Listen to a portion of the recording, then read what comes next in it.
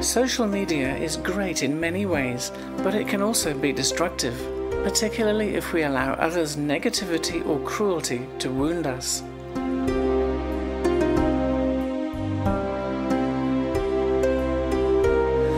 It can be said that a good person is a positive thinker.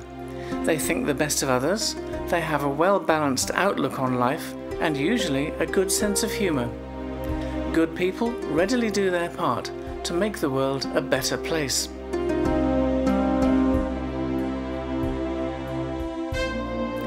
Perhaps most importantly, a good person has self esteem.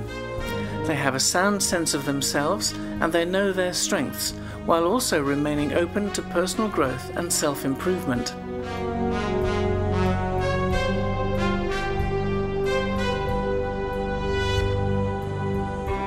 But inevitably, as a result of finding the energy to deal with life and all its challenges, there are times when even the best of us can be tired, run down, and vulnerable. This is entirely natural, and usually, given time and space, our batteries will recharge and will bounce back.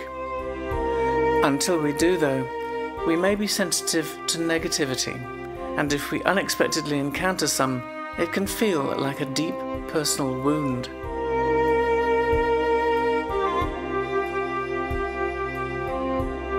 But it needn't be this way. There's something we can do to avoid being hurt, and all we have to do is remember to do it.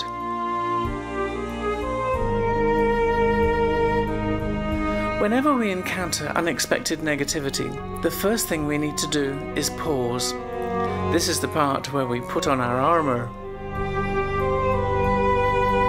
then we need to see the negativity for what it is. Just because someone says or writes something negative about you doesn't make it true. It's not intended to convey anything of value, which means it's not valid on any level, so it's actually unimportant and irrelevant. You don't need to accept it or react to it, you can just release it and move on undisturbed.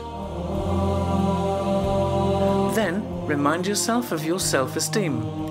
No one's invalid words can undermine the good person that you are. It remains a sad fact that some people seek to make themselves feel better by making others feel bad. These people have much to learn, but they have their own journeys, which will eventually teach them that such behaviour will only turn out negatively for them. It's important not to engage with them, as doing so will only reinforce the unwise actions they themselves need to discard. But that's their business. Yours is to let their negativity fall away like water off a duck's back, as they say. Learning to do this is a necessary part of your own growth and development into a better and stronger person and an even more worthy member of society. Kendo Nagasaki has been sharing these words for many years and he's seen them truly empower a great many people.